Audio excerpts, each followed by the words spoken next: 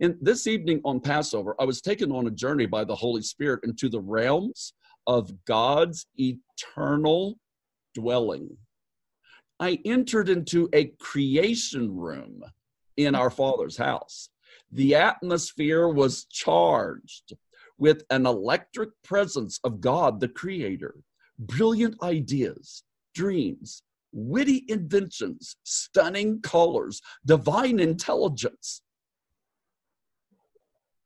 A word captured me. A word captured my attention. A word permeated my being. We are entering into a fresh creation season in the body of Christ.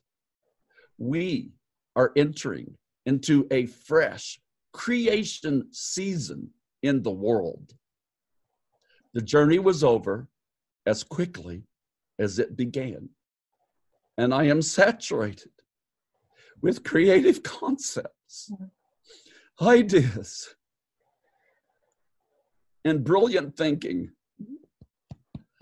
I have left music.